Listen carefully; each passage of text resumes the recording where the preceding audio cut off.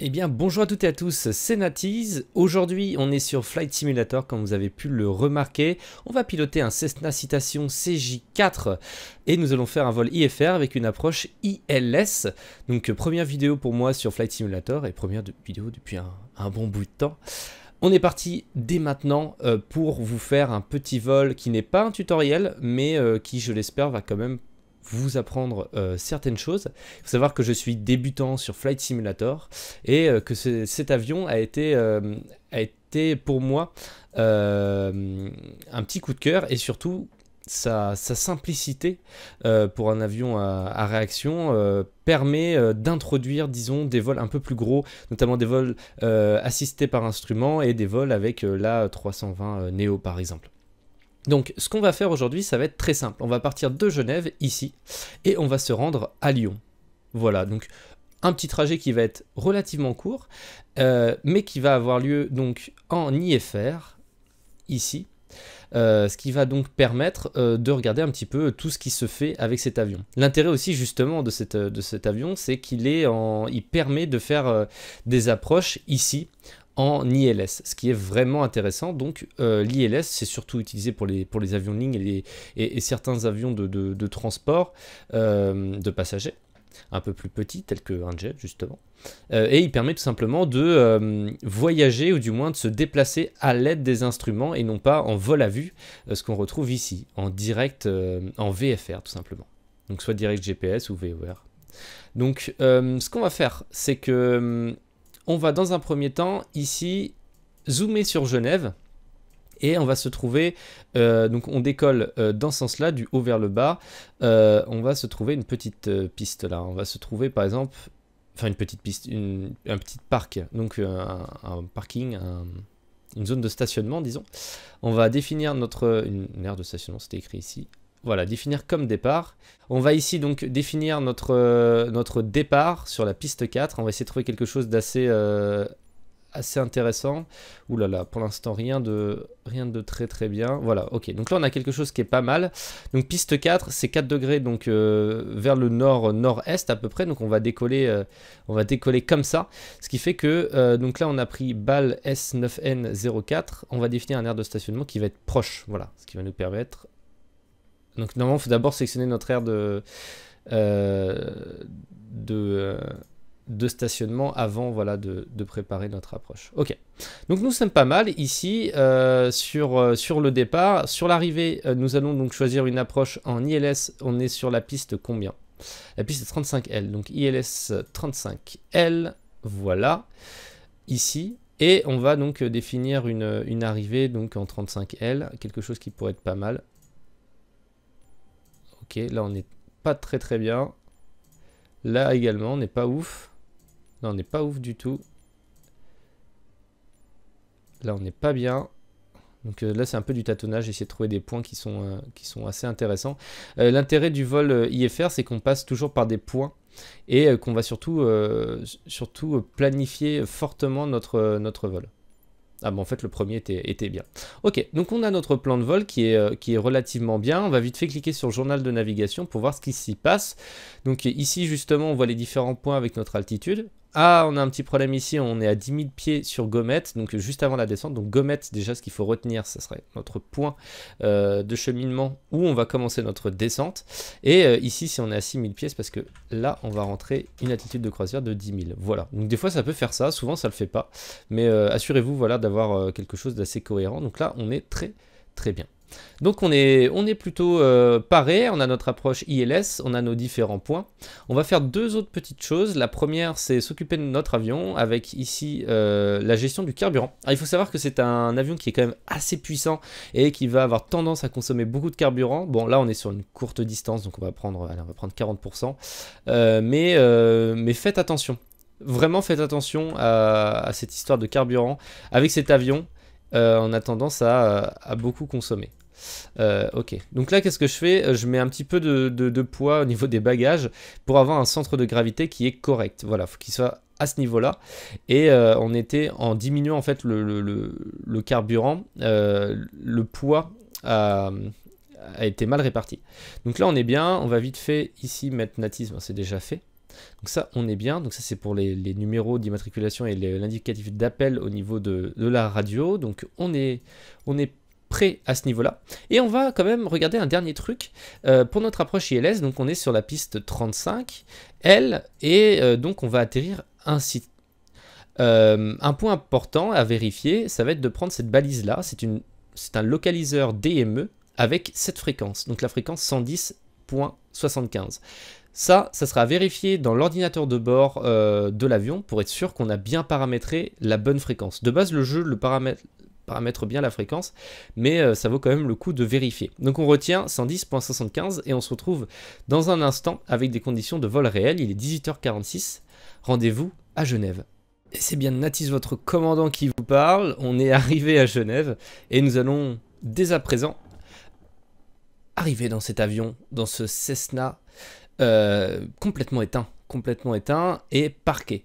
Donc euh, première étape, ça va être de préparer notre avion au vol. Donc ici, qu'est-ce que je fais? Je clique sur, euh, sur les manches pour euh, les rendre invisibles. Euh, c'est plus pratique, même si c'est un peu moins réaliste. Alors, dans les choses à, faire dans un premier temps, c'est d'afficher donc l'ATC. L'ATC, ça va être la radio.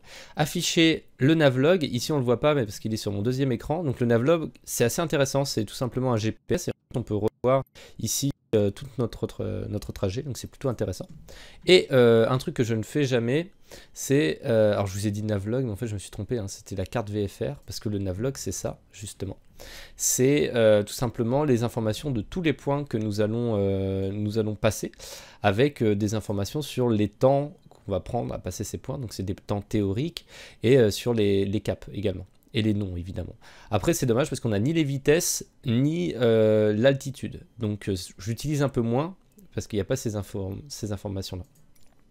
Ok, donc nous voilà dans un avion complètement euh, éteint.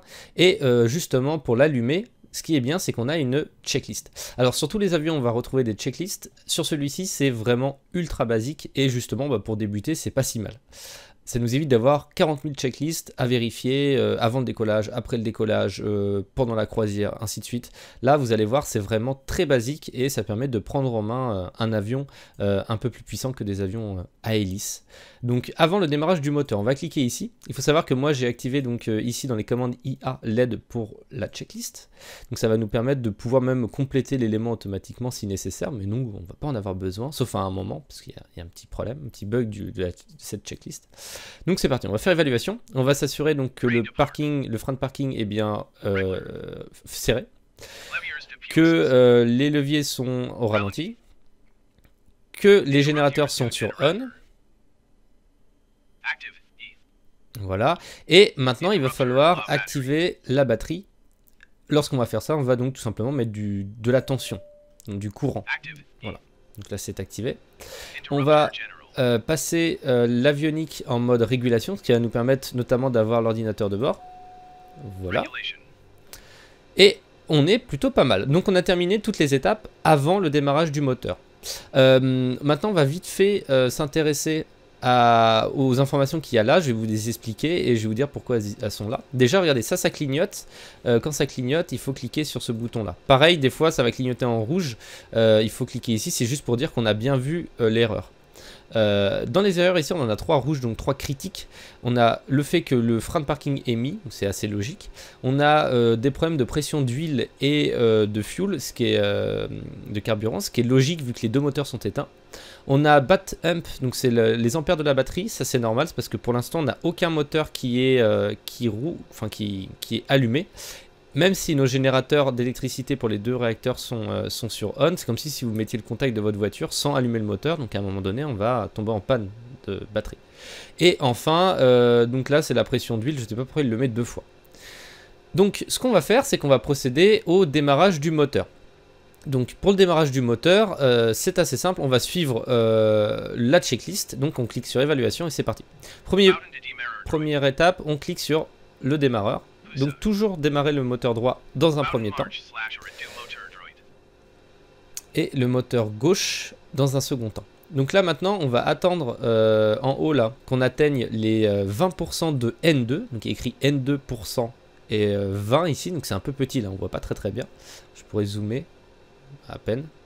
Voilà, on a dépassé les 20%, donc on peut on peut cliquer sur Run. Et en appuyant ici, on va donc démarrer euh, les réacteurs. Là, il y a deux informations euh, qu'on peut regarder pour nous assurer que le moteur démarre bien et qu'il n'y ait pas de, soucis. On a une température et un pourcentage. Je vais être franc avec vous, je ne sais pas exactement à quoi ça correspond. Pour N1%, je ne sais vraiment pas. Et euh, ici, j'imagine, sans avoir été voir sur Internet, que on parle de température de réacteur. Alors, où dans le réacteur, je ne sais pas. Mais, bon, peut-être température non, je pense que c'est une température moteur. J'ai dit une température d'huile, mais non, elle est affichée ici. Euh, ok, donc euh, c'est bien justement, euh, la pression d'huile augmente, la température d'huile augmente, tout augmente, c'est plutôt, c'est plutôt bien. Donc ici justement, on a une étape de la checklist avec un petit icône comme ça, ce qui veut dire que c'est à nous de cocher l'élément. Voilà, donc on a surveillé ça, on est ok. maintenant, on va faire la même chose pour le deuxième. Donc on active le démarreur, alors là, là évidemment, c'est un peu compliqué. On, voit pas très bien. J'ai voulu le faire avec ma manette, mais euh, évidemment, je n'ai plus de... Voilà, comme ça. Ici, on est à, à 14. On attend d'avoir donc... Euh, on attend d'avoir 20% et on va faire la même chose. Et là, on dépasse les 20%. Donc pareil, on active le deuxième réacteur. Et là, on est plutôt content. On va dès à présent euh, voir les étapes après le démarrage euh, du moteur et on va passer en mode évaluation pareil. L'avionique on va le mettre comme ça, du coup l'ordinateur principal, le PFD si je ne m'abuse, est activé. Ici on va activer donc les, éclairages. Alors, ça veut jamais donc euh, je vais compléter l'élément automatiquement. Voilà. Ici et on retire le frein de parking. On va le, euh, allez, on va le retirer tout de suite, histoire de terminer la checklist. Ok, on va, on va le remettre maintenant. On va le remettre ici. Donc quand je le remets, justement, ça clignote. On clique ici pour confirmer qu'on a bien vu le problème. Et là, on est bien. D'accord, donc notre avion est presque prêt. Euh, on va juste regarder ici, donc c'est l'ordinateur de bord, voir les petites informations qui peuvent être utiles. Euh, donc là, c'est l'identification, donc des informations sur notre avion.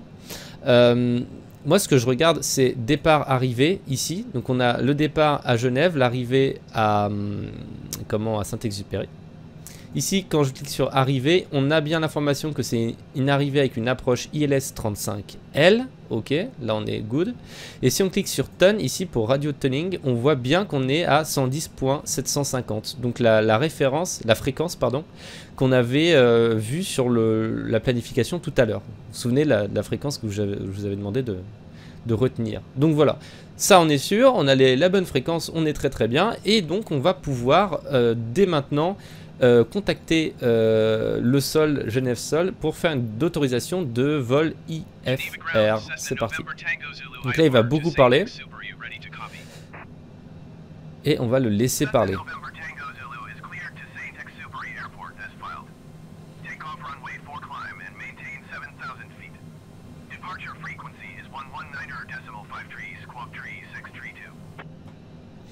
Donc on a plusieurs informations.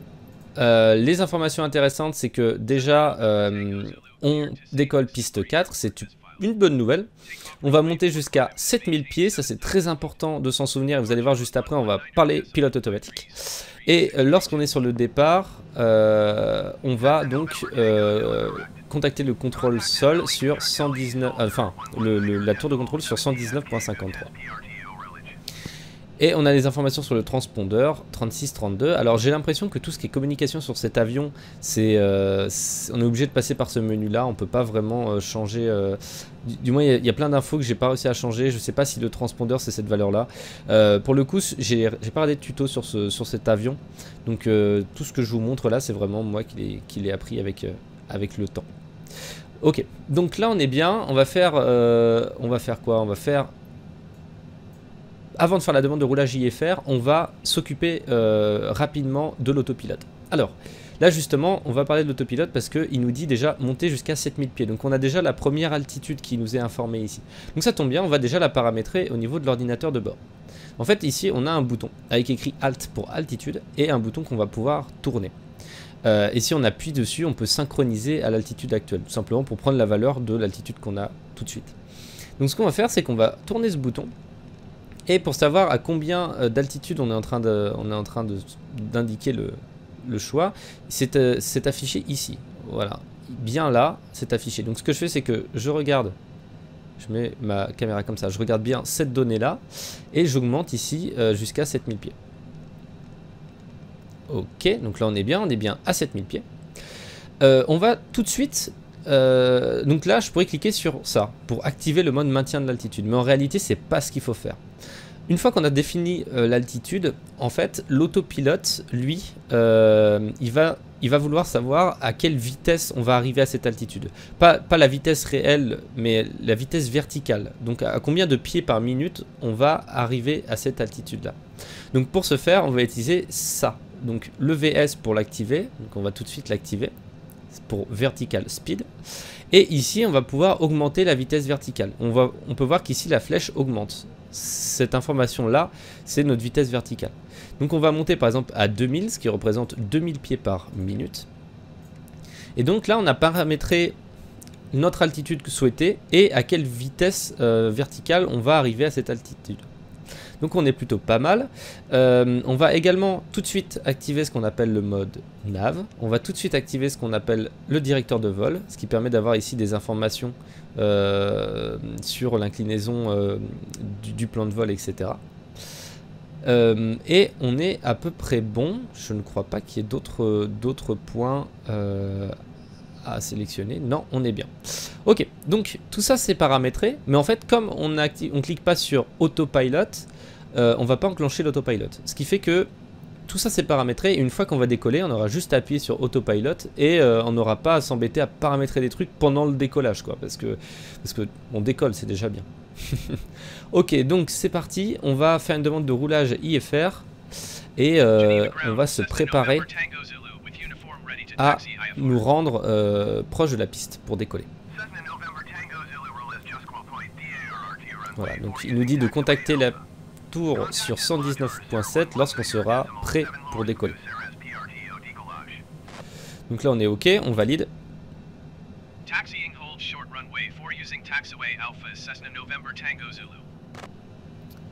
Ok, perfect. Et donc maintenant on est, euh, on est paré à euh, nous rendre proche de la piste. Alors vous voyez il y a des petites euh, flèches qui sont apparues un peu à droite à gauche. ça c'est lié à une option d'aide dans les, dans les options du jeu. Donc vous pouvez faire en sorte que euh, sur le roulage, vous ayez ces, informations-là. Donc moi je vais faire une, demande de service au sol pour une demande de repoussage.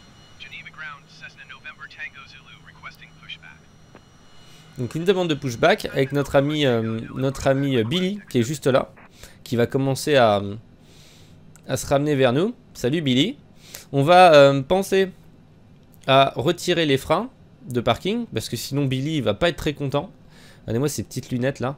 Aïe ça rigole pas. Hein. Ah Billy, euh, Billy il rigole pas. C'est un mec sérieux quoi. Donc euh, Billy va nous pousser. Alors pas tout de suite parce que Billy il a des, petits soucis souvent. En fait il a des problèmes balistiques. Mais, euh, mais après il, généralement il peut quand même y arriver. Ah Peut-être que j'étais mauvaise langue, il a peut-être aucun problème balistique. Waouh, Billy il est, il est réveillé. C'est très rare. Et euh, donc maintenant, on va faire une demande de poussage vers la gauche. En fait, demande vers la gauche, ça veut dire que la queue va aller vers la droite.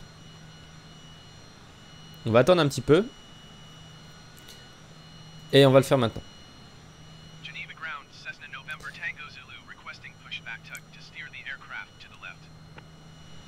Voilà, donc la queue va vers la droite. Donc c'est plutôt pas mal, c'est ce qu'on veut. Et c'est juste histoire de nous aider un petit peu pour nous aligner. Parce qu'il faut savoir que donc cet avion a aussi un mode marche arrière. Mais euh, faire une demande de pushback, c'est quand même vachement plus pratique. Et on va, voilà, on va faire une demande d'arrêt de, repoussage. Billy, t'as assez travaillé, c'est l'heure de la pause café. Hop. Et va nettoyer tes lunettes. Elles brillent pas assez. Ok, donc on est bien. On va pouvoir passer en mode taxi. Et pour passer en mode taxi, on s'assure d'avoir bien le mode taxi qui est activé ici. On va mettre le mode logo. Le mode logo, c'est euh, pour un peu se la péter avec euh, ici, euh, ici la, queue qui est, qui est éclairée. On est parti. De toute façon, on n'a plus le, le frein d'activer. Donc on va commencer à accélérer. Donc je pousse les manettes des gaz. Voilà, un petit peu. à ce niveau-là, on on va en parler après parce que là, on passe en mode taxi. Je vais me rendre au niveau de la piste. Donc après, je suis, euh, j'utilise les pédales.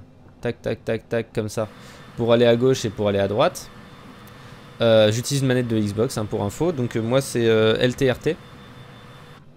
Je vais me rendre sur, le, sur la piste. En fait, j'allais faire une ellipse, mais il s'avère que c'est tellement dans peu de temps que ça devrait aller. Et on peut voir que là, il commence à faire un peu sombre. Du coup, on va, on va venir là. Et ici, on peut mettre de la luminosité. Voilà. À Genève, il fait sombre assez tôt. Ça, c'est la pluie. On a une météo qui est pas très, euh, très clément. Donc, euh, on va voir après, justement, euh, des informations à ce sujet-là. Ah Par contre, j'ai un peu dépassé. J'ai pas été très sérieux. Normalement, il faut jamais dépasser ces lignes là. Mais, mais bon, on était très pressé de s'envoler. C'est pas très gênant. On va faire une demande d'autorisation de décollage maintenant. Ici, évidemment, il me dit que le mode euh, parking est, est, enclenché, donc ça, c'est pas gênant. Et avant de partir, on va attendre qu'il ait fini de parler. Avant de partir, il y a certaines choses à prendre en compte. Donc je vais faire accepter l'autorisation de décollage. Voilà. Ok. Plusieurs choses à savoir, donc là il pleut. Euh, ça peut être anodin, mais en réalité c'est important. Et même s'il pleut pas, moi ce que je fais, c'est que j'active quelque chose situé ici. C'est le Ice Protection. On va l'activer. Ça va nous éviter d'avoir des problèmes de glace qui se forment, surtout quand on va monter en altitude sur notre avion, et ça peut vraiment impacter nos instruments. Euh, notamment si vous avez activé ça dans les, options du jeu, moi c'est ce que j'ai fait. Donc si j'oublie d'activer ça, par exemple, je vais plus, l'autopilote ne va plus savoir à quelle vitesse je vais, etc. Donc c'est terrible. Je vais activer ici les feux d'atterrissage, ok. Je vais mettre les volets euh, sur le mode décollage. Euh, et ici, justement, on va pouvoir regarder rapidement deux choses. Donc ici, hop, je vais me mettre comme ça. Ici, nous avons euh, l'aérofrein. Le levier d'aérofrein sera freiné en vol. Je vais vite fait refermer les, les petites protections pour éviter qu'on, par erreur, qu'on appuie sur, sur les, les, comment, les, les engines, enfin ces boutons-là qui pourraient couper les moteurs, ça serait terrible. Euh, donc ici nous avons les manettes des gaz, donc deux manettes parce qu'en fait il y a deux réacteurs. donc là nous sommes au ralenti. Ça c'est euh, vitesse de croisière, ok. Ça c'est pour la montée, c'est climb. Et ici c'est euh, pour le décollage. On est, pas mal, donc take. On est pas mal. Je pense que j'ai rien oublié. L'ice c'est bien paramétré, tout est prêt on va pouvoir euh, retirer le frein de parking et on va pouvoir accélérer et on va pouvoir euh, nous aligner à notre piste et bientôt procéder à un magnifique décollage en direction de Lyon.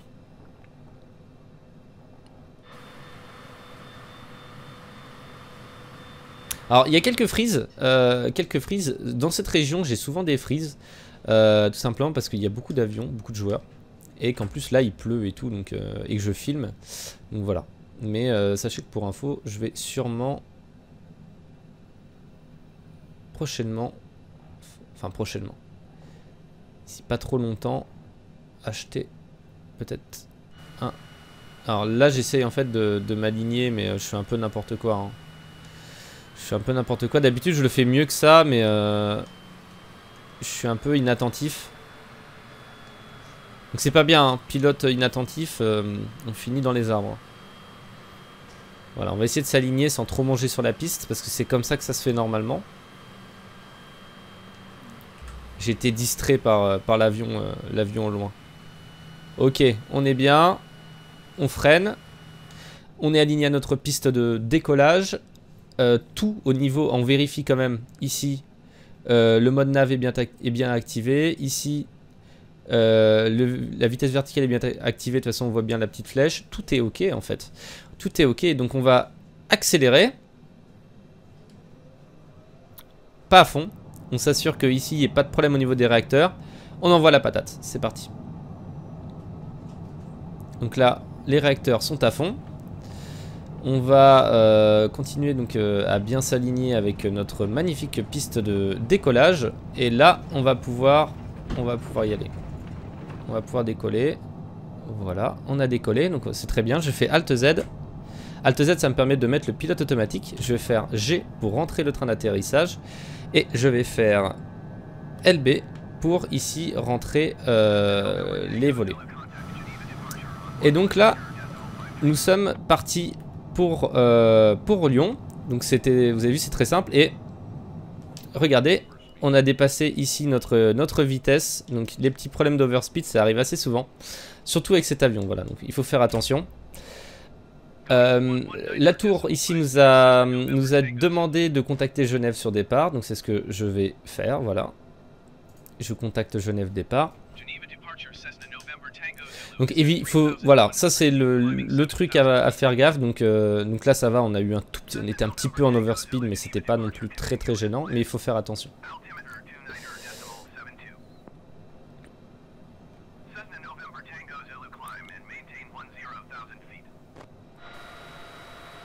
Donc j'accepte les consignes euh, qui nous dit de monter à 10 000 pieds. Donc on va tout de suite changer ici euh, la valeur d'altimètre, on va la mettre à 10 000 pieds. Voilà, on sait que notre vitesse de croisière, de toute façon, c'est 16 000 pieds. Donc on va avoir une autre montée après. Euh, donc là, en fait, c'est très simple. Hein. On écoute juste ce qu'on nous demande, nous dit, et, euh, on applique. Aussi bête que, ça puisse paraître.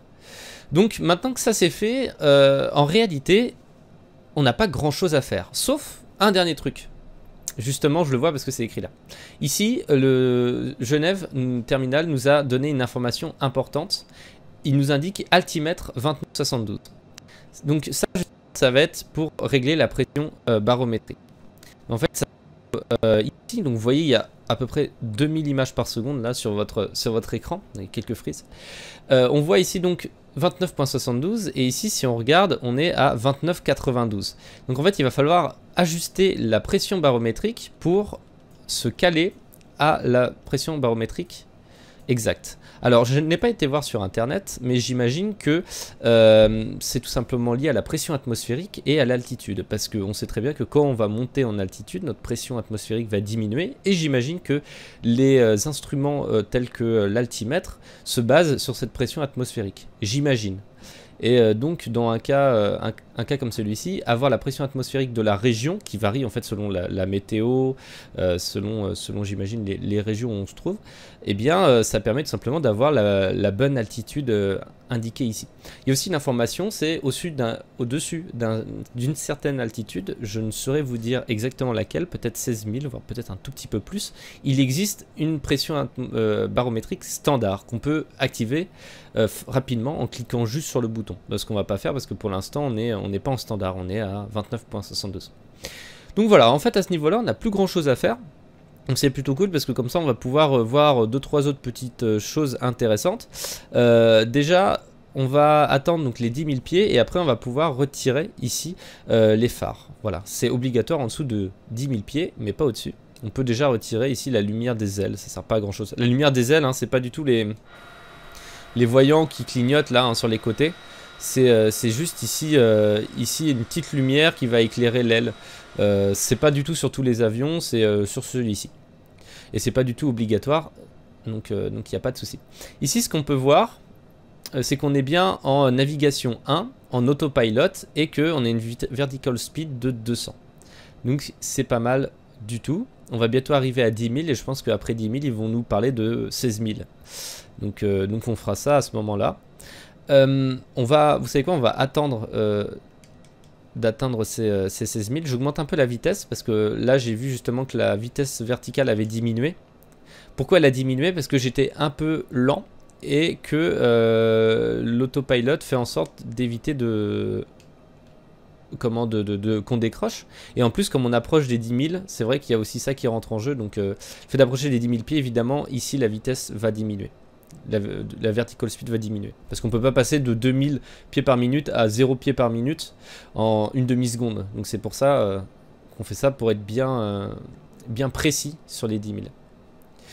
Ok, donc on va attendre 10 000. Je pense que la tour va nous, va nous contacter d'ici très très peu de temps. Vous pouvez voir qu'on a des turbulences. Euh, ça c'est clairement, clairement lié à, mes, à mon problème de pilotage. c'est pour le coup parce qu'on est dans les nuages et que, euh, c'est la tempête. Alors justement, à ce niveau-là, il y a des informations utiles qu'on va voir. C'est euh, ce bouton-là. Si on clique dessus, on a donc la vue euh, GPS. Donc on va être en overspeed encore. La vue GPS qui peut être pas mal. Mais si on reclique dessus, on a cette vue là. Et là, là, elle est terrible d'ailleurs. En gros, c'est la vue météo. Et on peut. Euh, donc il y a plusieurs couleurs. Et les couleurs nous indiquent. On est en overspeed. Euh. L'avion est vraiment super puissant, donc il faut faire vraiment attention. Donc c'est la météo. Euh, quand on est sur des zones rouges, des turbulences peuvent subvenir. Donc là, ça tombe bien. On est bien dans une zone rouge. on peut aussi dézoomer. Alors, pour dézoomer, il faut faire gaffe parce qu'en fait, il y a deux... Voilà, on va faire ça comme ça. Il y a euh, deux, niveaux sur ces boutons là. Donc euh, là justement on ajuste le zoom et après si on s'éloigne un petit peu euh, on change un autre paramètre. Donc là justement on peut zoomer et dézoomer. Donc le pire, la pire couleur c'est violet. Hein. Donc si on va là-bas on s'amuse. on fait des loopings mais bon Enfin, on va pas faire de looping, hein, mais on aura juste pas mal de, de turbulences. Là, du coup, on va quitter cette zone, nuageuse, donc c'est pas mal. On va rezoomer un petit peu. Ok. Quoique, quoique parce qu'on va, on va tourner plus euh, plus euh, d'avoir beaucoup de nuages, euh, ça ne, mon ordinateur n'aime pas trop. Hein. Vous avez pu le remarquer. Ne le jugez pas, le pauvre, il est, il est vieux, hein. très vieux. Hein. ok, donc comme on peut voir, ça c'est notre trajectoire, donc on va, on va voir un peu de violet. Donc ça, ça tombe bien, ça m'avait manqué. Ok, donc on est dans les nuages c'est pas ouf. Et je sais pas pourquoi ils nous demandent de... Ils nous demandent pas de passer... Euh, de passer... Ouais. Ils nous demandent pas de passer à, 16 000 pieds. Alors, euh, donc c'est un peu étrange. Peut-être parce qu'il en a eu rien à faire dans notre plan de vol et euh, qu'il a décidé que 10 000 pieds, ça serait bien en fait. C'est possible. C'est possible. C'est dommage, mais bon, c'est comme ça. donc à part ça, après dans les informations qui peut être utile. Donc on est à 10 000 pieds, on peut retirer tout ça là. Tac. Euh, ça en fait c'est le logo, c'est ce que je vous en ai parlé tout à l'heure. C'est le la lumière ici, on n'a pas trop besoin. Donc euh, c'est stylé hein, de dehors, hein, regardez ça. On est la tête dans les nuages. Euh, bon, ça m'embête un peu. J'aimerais bien demander une augmentation d'altitude de, de 2000. Alors, de 2000 pieds ce qu'on va faire. On va essayer de passer au-dessus des nuages.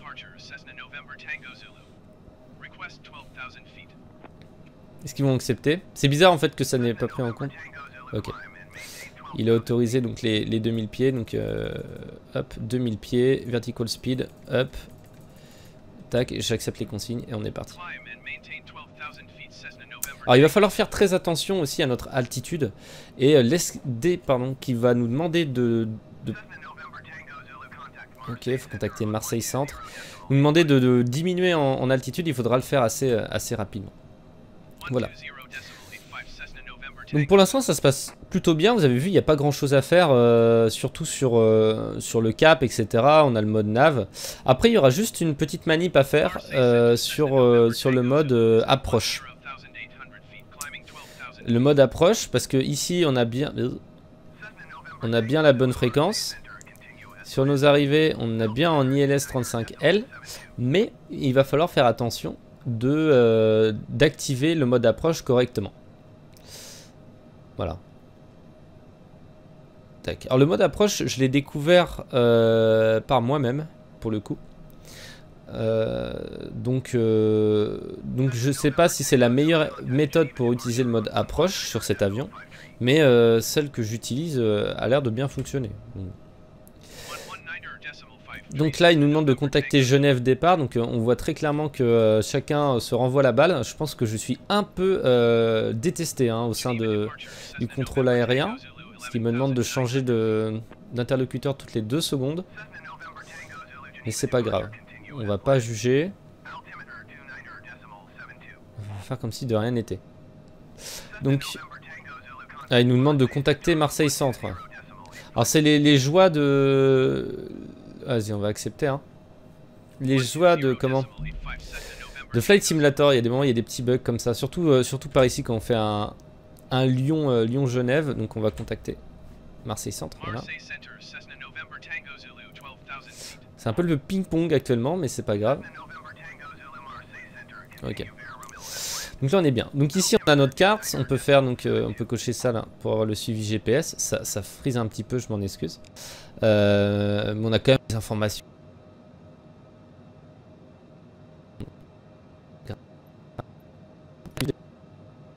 Et, euh, et après, pourquoi on est à une image par seconde? Je n'ai aucune idée. à croire qu'on est on est dans une, tempête sans précédente. Euh, après, dans les informations intéressantes, donc on a vu, ça j'ai galéré à trouver, mais donc on a la, lumière qui est ici. Et on a ici également un, comme un petit bouton pour ajuster euh, la luminosité de l'éclairage. Donc ça c'est pas mal aussi. Ça, éclaire les, tous les boutons, tout ça. Donc on est bien. On peut aussi euh, faire pareil pour... alors là, là, de toute façon c'est déjà à fond, mais réduire ou augmenter ici l'éclairage. C'est bien si on, si a envie de faire une, une sieste. Par contre, ce qui m'inquiète un peu, c'est que... Qu'est-ce que J'aurais peut-être pas dû toucher. Ouais. Pourquoi, pourquoi lui, il reste sombre? On a peut-être fait une bêtise. Hein. Ah non, ok, parce qu'il y a deux boutons. C'est autant pour moi. Ok, tout va bien, tout va bien. J'ai cru que c'était un bug, mais non, c'était juste moi. Parce que regardez, en fait, il y a deux boutons, du coup, en fait, selon là où, euh, vous mettez votre souris. Là, je tourne le premier bouton, et là, je tourne le deuxième bouton. Voilà. Donc souvent, c'est comme ça, faut faire, faut faire attention. Donc là, on est plutôt bien, on n'est pas du tout encore sur notre notre descente. Euh, à part ça, il y, a des petites informations utiles euh, à savoir. Donc euh, ça, c'est pour euh, transférer donc le carburant d'un réacteur, enfin d'un réacteur, d'un réservoir à un autre. C'est utile si j'appuie sur le parking brake, moi? Qu'est-ce que c'est que ça? Ok. Donc tout va bien. C'est utile si on n'a pas ici, on n'est pas équilibré au niveau de, du carburant. Vous voyez, il y a une petite différence parce qu'on a d'abord débarré le réacteur droit avant le gauche, donc il y a une petite variation. Euh, là, c'est très faible, mais si on a des variations qui sont plus importantes, ça peut déséquilibrer d'un côté l'avion. Donc c'est pour ça que cette option est disponible. Voilà, donc là il n'y a pas besoin. La température du cockpit, on ne peut pas la changer, ça ne sert à rien. Euh, ça, c'est quoi ça? Désactiver l'allumage gauche, désactiver l'allumage droite. Je ne sais pas ce que c'est, pour être franc avec vous. Et ça non plus. Fuel boost manual, je ne sais pas ce que c'est également. Ça c'est super euh, important. C'est ce qui permet de dépressuriser la cabine. Alors, il faut éviter de le faire en plein vol. C'est pas trop recommandé pour dépressuriser la cabine. Euh, après, vous pouvez essayer si vous aimez bien euh, faire des petites blagues à vos, à vos clients euh, qui, sont, qui sont derrière, hein, en train de prendre leur, leur, petit champagne. Je vous, je vous, le conseille quand même pas. Quoi. Ça, peut, ça peut réveiller un petit peu. Il faudra sortir le masque à oxygène, etc. Donc le mieux c'est de fermer le, petit capuchon et de pas trop y toucher. Par contre, euh, normalement, je crois qu'il faut dépressuriser la cabine lorsqu'on est, euh, est arrivé euh, à l'atterrissage. Ok, donc ça on est bien. ici, donc on sait déjà un petit peu comment ça marche. Après ici on a un petit menu, c'est le PFD menu et avec ce petit bouton là on peut afficher, on peut changer de trois options. Euh, donc moi j'y touche jamais pour, pour, être franc avec vous, mais euh, voilà, on peut, euh, on peut se balader dans les menus, etc. Bon, il y a plein de choses qui sont déjà faisables sans passer par ce menu là, mais on peut changer le, format. Par exemple, on peut afficher ça, mais du coup on l'a déjà ici, donc c'est pas ultra important. Du coup moi je le laisse en mode arc, et on fait échappe ici pour quitter ce mode là. Par contre ici c'est intéressant, on a la même chose, en fait c'est le lower menu, donc ça c'est le upper menu, upper, et là le lower menu, donc lower menu ici. Et on peut faire la même chose, et moi souvent ce que je mets, je l'ai pas mis ici pour l'instant, mais si je m'en sors, je suis un peu, un peu bourré là, parce qu'en fait il y a des turbulences, du coup j'arrive pas à appuyer sur le bouton. Voilà, cette vision là, elle est assez intéressante, donc euh, je vais la laisser comme ça, et je vais cliquer sur, euh, ah, faire défiler des informations sur le moteur, ok, je vais cliquer sur échappe. Ok, voilà, donc on va, on va garder cette vue là, elle est sympathique, on a une vue assez générale sur, euh, sur la situation, et là on a une vue météo, et on voit que on est en pleine turbulence, c'est normal, et plus tard ça sera encore pire. Yes. Donc, on va commencer à euh, réduire notre altitude. On va pas la réduire, mais on va déjà commencer à paramétrer notre altitude. Ça sera pour après. Alors, je sais plus exactement, exactement combien c'est. On va mettre 8000 et on changera selon les indications de la tour de contrôle. Et euh, du coup, euh, voilà, comme ça on est déjà aux alentours de 8000, on aura juste à faire VS, down, et on commencera notre, notre descente. Parce que la descente va arriver d'ici peu de temps en réalité, on approche. Hein. Si j'affiche la carte VFR ici, euh, on, est, euh, on est proche de, la descente. Ici, on a, on a fait plus de la moitié là. Donc, euh, donc voilà. Donc c'est une bonne nouvelle. On est bientôt arrivé à, Lyon. pour aller dans les petits bouchons lyonnais là. Pas encore, il y a encore un peu de route. Et à part ça, qu'est-ce qu'il y a d'intéressant Les avions qui à toute, toute berzingue, c'est eux là qui, me font, qui nous font laguer dans ce vol. Font n'importe quoi. N'importe quoi les boys. à part ça, sur l'ordinateur de bord, est-ce qu'il y a des informations utiles? On a le flight plant ici. et si on fait next, on a, on a quelques infos. donc là, ça nous donne le prochain point que nous allons, euh, nous allons faire, que nous allons euh, passer. Et normalement, ça devrait d'ailleurs bientôt, euh, bientôt changer. Il va bientôt me, donner un autre point. On va arriver sur Balsi. Après, qu'est-ce qu'il y a comme information utile? Dire, c'est pas mal, il me semble bien. Oui. Si on fait Next et Previews. Voilà, ici on a tous les points qu'on passe. Donc là, on est à Balsi. Après, on a Amvar. Après, on a LL 101, etc. On a tous les waypoints sur notre plan de vol. Ça, c'est euh, pas mal du tout. Pour l'ordinateur de bord, euh, j'utilise... Je fais que ce qui est efficace, c'est-à-dire qu'il y a plein de choses très intéressantes, très importantes, etc. Euh, mais que je n'utilise pas pour un vol simple. notamment, je sais qu'avec l'ordinateur de bord, on peut euh, pas compilé, mais euh, ouais, je crois que c'est compilé. Enfin, du moins rentrer notre plan de vol euh, à, l'intérieur, bien évidemment, mais on, peut aussi le changer en vol si par exemple la tour de contrôle juste avant d'arriver nous dit Ok, finalement ce sera telle piste, on change de piste. Donc là, il va falloir le changer dans l'ordinateur de bord. Je vous avoue, ça m'est jamais arrivé parce que c'est un avion qui fait des petits trajets en fait. Enfin, avec. on peut pas aller ultra parce qu'on a une grosse autonomie. On a, on a de la vitesse, mais on n'a pas une grande autonomie. Donc euh, il est pratique, mais on va pas faire des, vols intercontinentaux, on va pas faire ce genre de choses. Donc euh, généralement la météo entre temps n'a pas le temps de varier énormément, et ainsi euh, généralement le numéro de piste ne change pas. Donc il n'y a pas de a pas de problème à ce niveau-là. Donc on va rentrer dans les zones turbulentes. je sais que voilà, c'est ça qui, ça qui vous fait kiffer. Là, c'est un peu, un peu la tempête. On est dans les nuages aussi. Hein. On est dans les nuages. Donc une météo un petit peu, euh, compliquée actuellement, mais c'est pas, pas trop gênant. On va y arriver, on va s'en sortir. Euh, concrètement, sur la vitesse depuis tout à l'heure, on s'en sort bien. Donc là, on a commencé à prendre le point, donc on, commence à, à, tourner, donc euh, tout va bien. On est à 19 000 pieds, on va bientôt commencer notre descente. J'ai oublié à partir de quel point nous devons entamer notre descente, mais on imagine que ça va être d'ici peu de temps.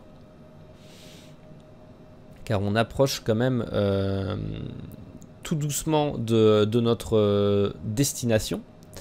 À part ça, euh, je pense que nous avons vu un petit peu, enfin tous les points importants au niveau de l'avion, hormis celui-ci, c'est c'est le VNAV et le FLC. En gros, ça c'est pour la vitesse. Euh, vous avez vu depuis tout à l'heure, on, modifie la vitesse nous-mêmes. on arrive vraiment dans la zone violette, donc il y a beaucoup de turbulences, ne vous inquiétez pas. Euh, accrochez-vous, mettez vos ceintures, euh, fermez les yeux, pensez à un truc relaxant et ça devrait bien se passer normalement. Donc le VNAV, comme je disais, et le FLC, donc c'est pour la vitesse, mais ça ne fonctionne pas. Moi, du moins, ça ne marche pas. Après, si dans les commentaires vous savez comment les faire fonctionner, c'est génial. Mais pour moi, FLC, on définit nous-mêmes la vitesse qu'on souhaite. Par exemple, euh, on dit au lieu de 250, ouais, moi j'ai envie de euh, d'aller à, euh, je dis à l'avion, ok, maximum, enfin maximum, consigne à 220. Consigne à 220, on clique sur FLC, c'est censé réduire les gaz, puis les augmenter, puis les réduire, puis les augmenter, pour toujours avoir 220. Ça ne fonctionne pas. Il y a un autre truc, c'est le VNAV qui ne fonctionne pas. C'est la même chose, sauf que en réalité, donc le V c'est pour vitesse. Euh, en réalité, c'est selon la vitesse définie dans le plan de vol, la vitesse théorique. C'est encore un peu différent. Euh, c'est-à-dire qu'on ne va pas définir nous-mêmes une vitesse. Euh, là tout de suite, je dis pas genre 220. Ça va tout simplement prendre pardon, ceux qui sont indiqués sur le plan de vol. Voilà. Donc ça permet d'avoir un truc encore plus précis. La plupart, enfin tout ce qui est vol A320, etc., c'est en VNAV souvent. Mais là, euh, ça ne fonctionne pas, donc, euh, donc voilà, je préfère pas le, faire. Alors, re-bonjour. Euh, du coup, il y a eu quelques changements. je vous explique sur la fin de cette approche ILS. ça s'est pas passé d'une manière parfaite. On a quand même atterri. On a, il n'y a pas eu de gros problèmes. Cependant, l'approche ILS n'était pas parfaite parce que je pense qu'il y avait un bug avec l'aéroport et on n'était pas parfaitement aligné sur la piste. Donc j'ai décidé de refaire cette séquence-là sur une euh, piste qui, je l'espère, sera un peu mieux alignée. Donc euh, nous sommes finalement euh, repartis en direction de Genève. Il est un peu plus tard dans la journée. On voit que le soleil est en train de se coucher. On est sur une, une, vitesse relativement importante, donc sinon rien ne change par rapport à tout à l'heure, ok. L'intérêt maintenant, ce sera surtout de mettre le, point sur l'approche ILS et l'atterrissage via ILS. On peut voir que euh, nous allons atterrir certainement, euh, là-bas. Euh, on peut afficher ici la carte VFR pour vous donner un petit peu la situation. Donc on va arriver sur le point Belka et maintenant nous allons voir ensemble comment fonctionne l'approche ILS. Donc, euh, il y a peut-être certaines, choses qui, ont varié par rapport à tout à l'heure.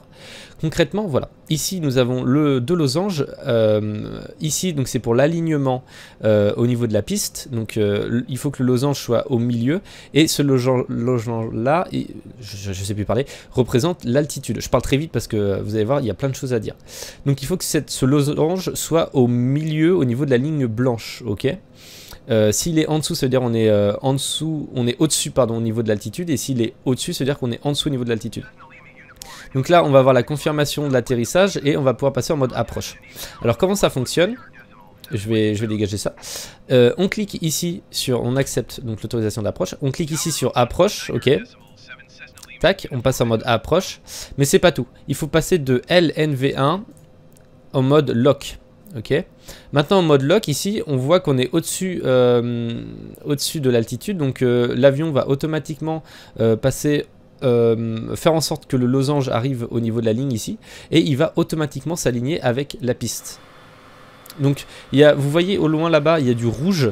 Ça, c'est tout simplement parce que j'ai une aide euh, qui a été activée. Vous savez quoi? On va la désactiver ensemble. Donc on va aller dans les options d'assistance. Ici, ça s'appelle aide à la navigation et c'est chemin d'atterrissage. On va le désactiver. Vous pouvez l'activer d'ailleurs, je vous le conseille. Moi, je vais les activer ici pour, pour le tuto. Et euh, du coup, ça c'est ruban pour rouler, ce qu'on a vu au début là. Euh, les, les points bleus sur le sol en mode taxi, c'est les rubans pour rouler au sol. Voilà. Donc ça, on est bien. On va faire appliquer, enregistrer. Et on va faire retour. Voilà, et reprendre. Ok, donc on va se régler, euh, on va régler ici sur euh, Tour Genève. Euh, ici, donc ça va, l'approche va être gérée automatiquement, donc on, va être, on est en train de s'aligner avec là-bas. On va diminuer la vitesse ici, on va sortir le premier train, le premier volet et il nous demande landing gear, donc on va sortir ici euh, le train d'atterrissage. On accepte les consignes d'entrée sur le circuit. Donc ILS piste 4, donc ça c'est euh, la piste 4 euh, d'atterrissage, en fait c'est la piste qu'on a utilisée pour décoller, maintenant on atterrit là-bas. Donc vu qu'on est en mode lock ici, on, va, on va maintenant bientôt atterrir. Un truc très important, ce n'est pas un atterrissage automatique, c'est-à-dire que la phase toute finale, il va falloir retirer l'autopilote. Alors pour retirer l'autopilote, soit vous cliquez sur AP ici, soit vous cliquez ici, donc c'est encore plus violent. Euh, ça désactive aussi l'amortisseur de lacet, ici qui est, euh, qui est pas activé parce que évidemment euh, j'ai oublié de l'activer. Hop, en reprenant, en reprenant cette... de toute façon, on peut pas l'activer vu qu'on est en mode approche. On confirme bien, on est toujours en mode approche. Hein, voilà. donc en tout cas, on approche de l'atterrissage. Pour le désactiver, donc AP, ou sinon vous faites Shift Alt Z, ok, sur votre clavier, euh, selon ce qui vous arrange au moment que ça vous arrange. Donc euh, là, je... Euh, vent calme, donc ça c'est plutôt une bonne nouvelle. Donc là, on est au-dessus de ce qu'il faudrait. Au-dessus ou en dessous J'ai un doute. Là, normalement, on est en dessous de l'altitude qu'il faudrait. Après, je pense que c'est les volets qui, qui créent ce problème. Euh, on va reprendre un peu de vitesse. On va se mettre vers les, 160. Et on va autoriser voilà l'atterrissage. Voilà, aux alentours des, 160. La tour hein, nous embête euh, un peu tout le temps. Euh, Alors j'espère que ça va bien se passer, j'ai quand même quelques doutes là. Ok, on est, est-ce qu'on est bien aligné? On a l'air d'être pas trop mal aligné. Après, si là on refait échappe, on va dans assistance et on remet euh, l'aide à la navigation, chemin d'atterrissage, on peut, euh, ça peut nous aider aussi, ça peut nous, conforter. Euh, si on le remet, tac ici, on voit qu'on est, est dedans quoi. On est dedans. On est trop rapide, mais on est dedans. Trop rapide, ça veut tout et rien dire. Euh, faites selon. Euh, normalement, il y a des vitesses pour les approches, etc. Euh, là, ici, c'est pas pas forcément le, cas. Ça, je vais réduire parce que ça me stresse un peu là, que ce soit aussi grand. Donc, on approche, on approche vraiment de la, de la phase finale. donc maintenant, ce qui va se passer, normalement, on est, on est bien au niveau des, des volets. On va faire Shift Alt Z on a retiré donc euh, le, pilote automatique et on va terminer euh, la, finalité, donc euh, l'atterrissage final, selon... Bon, on va le faire manuellement.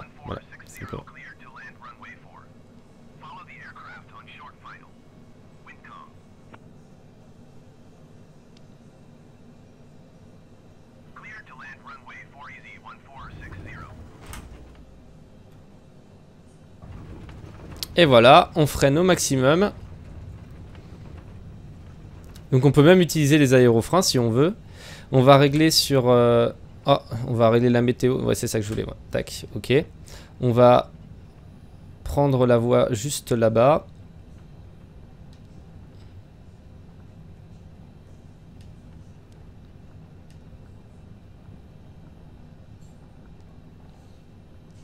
Voilà, on va essayer de s'arrêter ce niveau-là. Tac, ok. On va retirer les landings ici. Euh, ça, on va pouvoir les remonter. Le pilote automatique, de toute façon, est retiré. Hein. Voilà. Donc, nous en sommes ici. Alors, la trim, on peut la remettre à... Alors, j'utilise du coup Y, flèche du haut, pour remettre la trim à, 0. Voilà, ça peut être pas mal. Ok. Euh, maintenant, on va autoriser le transfert de responsabilité. On peut remettre ici le parc break. En attendant, euh, ici, une demande de roulage jusqu'à l'aire de stationnement. Voilà, donc on autorise le roulage.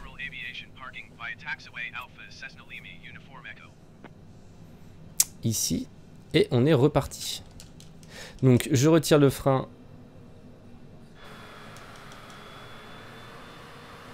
ici. Et je vais me rendre donc...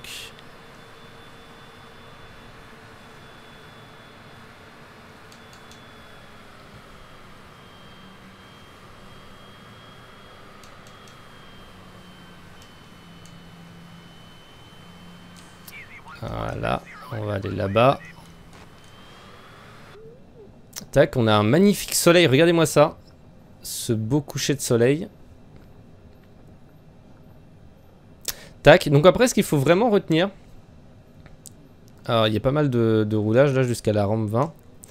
Euh, ce qu'il faut vraiment retenir c'est retirer donc euh, le pilote automatique sur la fin.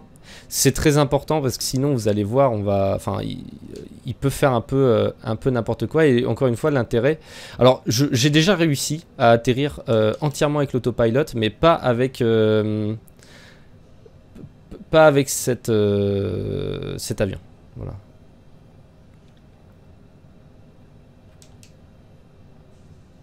Mais le mieux, c'est quand même de le faire, euh, le faire manuellement. De toute façon, c'est fait pour le faire manuellement.